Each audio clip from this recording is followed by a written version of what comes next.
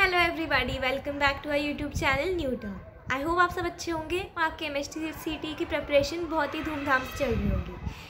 तो आज का वीडियो हर एक व्यूअर के लिए है, जिसको कुछ भी डाउट हो, कुछ भी सजेशन चाहिए हो कुछ भी स्ट्रैटेजी चाहिए हो जो भी क्लैरिफिकेशन चाहिए हो एम एस एग्ज़ाम के बारे में हर एक चीज़ आपकी क्लियर होने वाली है। इसलिए ये वीडियो जो है, ये हर एक टाइप के व्यूअर के लिए इसलिए आप लोगों को मुझे प्रॉमिस करना है कि आप लोग बिल्कुल भी स्किप नहीं करेंगे वीडियो। एंड तक बने रहिए, रहेंगे और मेरी बातों को ध्यान से सुन के उनका नोट डाउन करिएगा, जिससे कि आपको फ्यूचर में हेल्प हो सके। अगर आप नए सब्सक्राइबर हैं तो ज़रूर हमारे साथ जुड़ जाइए, हमें सब्सक्राइब करिए, जिससे कि आप तक डेली अपडेट्स पहुँच सके तो वीडियो शुरू करते हैं अभी। सबसे पहला कन्फ्यूज़न जो है वो एम एस के डेट्स का है, ठीक है? तो अब सर ने जैसे वीडियो निकाली थी और उन्होंने बोला था कि आपका जो एग्ज़ाम है, वो सितंबर में हो सकता है राइट उन्होंने बहुत सारे रीजंस भी दिए थे आपको। लेकिन हम सबको किसी को भी कोई क्लैरिटी नहीं है इस बात की, कोई अश्योरिटी नहीं है, ठीक है? तो आपके पास दो विंडोज़ खुलती हैं एम एस टी के एग्ज़ाम की। एक आपके बिट सेट के एग्ज़ाम के जस्ट बाद और जेई मेन्स के पहले, यानी कि टेन से ट्वेंटी अगस्त ठीक है? मतलब समझ लो फिफ्टीन से ट्वेंटी अगस्त के बीच में एक विंडो है आपके पास और एक आपके पास जेई के थर्ड अटैम्प्ट के बाद फोर्थ अटैम्प्ट के बाद एक विंडो है आपके सितंबर की बिफोर योर नीट एग्ज़ाम तो अब इन दोनों विंडोज़ में से किसी भी विंडो में हो सकता है ठीक है हम सिर्फ़ अपना प्रोडिक्शन दे सकते हैं, लेकिन कोई कंफर्मेशन नहीं दे सकता आपको राइट जब तक कि हमें कुछ पता नहीं लगता सॉलिड तो आप लोगों को क्या करना है, आप लोगों को ये एज्यूम करके चलना है, जो हम पहले से बोलते आ रहे हैं आपको, क्या कि फिफ्टीन अगस्त के आसपास एग्ज़ाम होने वाली है। उसी डेट को लेके चलिए, अपना पोर्शन तब तक ख़त्म करिए पोस्टपोन पोस्टपोन हुआ तो बहुत ही अच्छा है। आपको और प्रेपरेशन के लिए टाइम मिल जाएगा। लेकिन अगर पोस्टपोन नहीं होता है और फिफ्टीन अगस्त के आसपास ही होता है तो फिर आप लोगों का पोर्शन तब तक कंप्लीटेड होना चाहिए। ठीक है? तो डेट्स के बारे में आप किसी को कोई डाउट नहीं होना चाहिए। आप लोगों को फिफ्टीन अगस्त ही पकड़ के लेना है। ऑल दो प्रोबेबिलिटी सेप्टेम्बर की है बट आप लोग अपनी पढ़ाई फिफ्टीन अगस्त से पहले पहले कंप्लीट कर लीजिए। ठीक है? तो ये पहला डाउट आप लोगों का क्लियर हो गया। अब दूसरी चीज़ आप लोगों की क्या आती है कि हम प्रेपरेशन कैसे करें? ठीक है? हमारे पास कितने दिन बचे हैं? हमारे पास बीस से पच्चीस दिन ही बचे हैं। ठीक है? तो इसके लिए एक फॉर्मूला है जिसको मैं बोलती हूँ पी सी एम जैसे आप लोगों को पी सी एम है, वैसे ही मैं आप लोगों को एक फॉर्मूला देने वाली हूँ पी सी एम बायो वाले बुरा मत मानिएगा, आप लोगों के लिए भी फॉर्मूला आ जाएगा, ठीक है? आप लोग भी यही फॉर्मूला पे स्टिक करिए पी सी एम ठीक है? पी सी एम का क्या मतलब होता है? आप एक एक करके हम समझेंगे। पी स्टैंड फॉर प्रैक्टिस ठीक है? यू नीड टू प्रैक्टिस अगर आप प्रैक्टिस नहीं करोगे तो आप एक्सपेक्ट नहीं कर सकते हो कि आपका स्कोर अच्छा आएगा, ठीक है? तो आपको जो है प्रैक्टिस करना बहुत बहुत बहुत ज़्यादा ज़रूरी है और क्या प्रैक्टिस करना है, आपको आपको मॉक टेस्ट प्रैक्टिस करनी है। ठीक है? आपको प्रीवियस ईयर क्वेश्चन प्रैक्टिस करने हैं। आप लोग थियोरी पढ़ रहे हो, आपको थियोरी रोज़ाना रिवाइज करनी है। एक पेज पे अपनी थियोरी और शॉर्ट नोट्स हमेशा अपने फेस के सामने रखना है।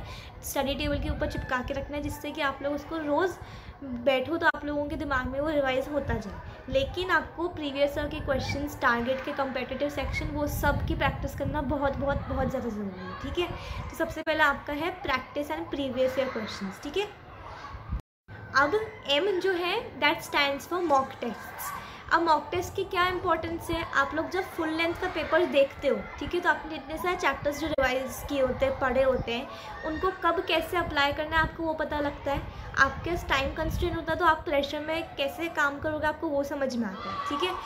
आप रोज़ाना मॉक टेस्ट देते तो आपकी बाय डिफ़ॉल्ट 150 क्वेश्चन सॉल्व हो ही जाता है। आपका मन कर रहा हो, चाहे नहीं कर रहा हो टाइम टेबल है स्केड्यूल है तो आपको करना ही पड़ता है, ठीक है? आपकी रैंकिंग पता लगती है तो आपको समझ में आता है कॉम्पिटिशन कितना है, ठीक है? सोल्यूशंस पीडीएफ वगैरह सब कुछ आपको मिलता है तो आपको समझ में आता है कि आप अपनी मिस्टेक्स को कैसे कहाँ पर सुधार सकते हो। अगर आप प्रैक्टिस नहीं करोगे मॉक टेस्ट तो आपको फील ही नहीं आएगी, आपको पता ही नहीं लगेगा कि आप कैसा परफॉर्म करेंगे तो हम लोगों ने भी एक सीरीज़ स्टार्ट की है, जिसकी प्राइस एकदम चॉकलेट जितनी है। अगर आप लोगों को एनरोल करना है तो आप डिस्क्रिप्शन बॉक्स में गूगल फॉर्म की लिंक दिए, उसे ज़रूर भर दीजिए और मेरी बात मानिए, आप लोगों को बहुत ज़्यादा बेनिफिशियल होगा। तो मॉक टेस्ट प्रैक्टिस करना बहुत ज़्यादा ज़रूरी है आपके लिए, ठीक है? ज़रूर एनरोल हो जाएगा C C stand for consistency ठीक है? आप लोगों को अपनी पढ़ाई में कंसिस्टेंट होना ज़रूरी है, ठीक है? लास्ट के 20-25 दिनों में हाँ मैं जानती हूँ, आप लोगों का कभी कभी पढ़ने का मन नहीं करता है तो ओके उस दिन मत पढ़िए एक आध दिन आप 20-25 दिन में से छोड़ सकते हो, लेकिन ऐसा नहीं है कि आप 20-25 दिनों में से 20 दिन ब्रेक लोगे और पाँच दिन पढ़ोगे, ठीक है? अभी की ही मेहनत है आपके पास, अभी पढ़ लो अच्छे से अच्छा स्कोर लेके आ पाओगे, ठीक है? अभी एक बार अच्छे कॉलेज में दाखिला हो गया एडमिशन हो गया तो आप लोग बाद में बहुत सुखी होंगे। ठीक है? तो अभी आप लोगों को एकदम कंसिस्टेंटली पढ़ाई करनी है, अपना टाइम टेबल बनाना है। किसी को भी कुछ डाउट होता है तो व्हाट्सएप टेलीग्राम पर हमें मैसेज कर सकता है, अपना टाइम टेबल सेंड कर सकता है। हम वहाँ पर उनको ज़रूर बताएँगे, सही है, गलत है, क्या इम्प्रूव कर सकते हैं। सुबह जल्दी उठिए, रात को जल्दी सोइए, ठीक है? और अपनी पढ़ाई को कंसिस्टेंटली स्ट्रैटेजिकली स्मार्ट वर्क की तरह करिए विद कंसिस्टेंट हार्ड वर्क ठीक है?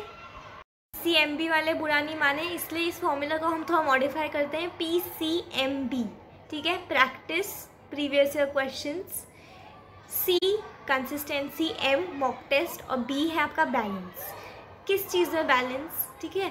आप लोग पढ़ रहे हो, पढ़िए, ठीक है? लेकिन पढ़ाई के साथ आपकी बाकी चीज़ों का भी बैलेंस होना चाहिए। मेडिटेशन एक्सरसाइज वगैरह आप पंद्रह बीस मिनट रोज़ अपना निकाल सकते हो, ठीक है? एंड बैलेंस बिटवीन स्टडीज़ मतलब थियोरी और क्वेश्चंस को आप किस तरीके से बैलेंस करते हो, उसका रेशियो वो बहुत इंपॉर्टेंट है, ठीक है? आपको रोज़ाना थियोरी रिवाइज करनी है और रोज़ाना आपको three hundred question at least practice करनी है। कैसे? वन फिफ्टी आप मॉक टेस्ट से कर सकते हो हमारी। ठीक है, वो वन फिफ्टी आप खुद से अपने प्रीवियस ईयर के क्वेश्चन टारगेट पब्लिकेशन से कर सकते हो। तो आप अगर थ्री हंड्रेड क्वेश्चन रोज़ करोगे, ठीक है प्रॉपर बैलेंस क्रिएट करोगे अपना, ठीक है, ऐसा नहीं कि बहुत ज़्यादा ही थ्योरी कर रहे हैं या बहुत ज़्यादा ही क्वेश्चन कर रहे हैं। प्रॉपर बैलेंस क्रिएट करोगे तो आपके कितने हो गए? Three hundred into twenty days six thousand question आपके एग्ज़ाम एग्ज़ाम के पहले पहले तक हो जाएँगे, ठीक है? तो आपको मॉक टेस्ट में एनरोल होना बहुत ज़रूरी है। आपको प्रैक्टिस करना बहुत ज़रूरी है। कंसिस्टेंटली अपनी हार्ड वर्क करते रहना बहुत ज़रूरी है और बैलेंस क्रिएट करना अपनी स्टडीज़ में भी और स्टडीज़ और एक्सरसाइज मेडिटेशन वगैरह में भी और मोटिवेटेड रहना आपको, ठीक है? बिल्कुल भी अपने मोटिवेशन को लूज़ नहीं करना है। सब बच्चे यहाँ पे कर सकते हैं। सब अच्छे से पढ़ो, सब मॉक टेस्ट दो, सब कुछ अच्छे से पढ़ाई करो थियोरी करो इंपॉर्टेंट चैप्टर्स करो। जितनी मेहनत अभी लास्ट के बीस पच्चीस दिनों में कर सकते ना उतनी कर लो। उसके बाद इस चैनल पे आप लोग इंटरव्यू देने ज़रूर आएँगे।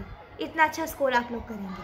तो ज़रूर ये सही स्ट्रैटेजीज़ को करिएगा। एग्ज़ाम डेट्स के बारे मैंने आपको क्लियर कर दिया है। नेक्स्ट वीडियो किस टॉपिक पर चाहिए ज़रूर बताइएगा। वीडियो अच्छी लगी हो तो ज़रूर लाइक करिए। हमें मोटिवेशन मिलता है। चैनल पे नए हैं तो सब्सक्राइब करिए। दोस्तों के साथ ज़रूर शेयर करिए और टेलीग्राम ग्रुप पर ज्वाइन हो जाइए। वहाँ पर हम सारे प्रीवियस क्वेश्चन शेयर कर चुके हैं। एंड व्हाट्सएप ग्रुप भी है के जिन जो लोग टेलीग्राम पर नहीं आ सकते। Study well take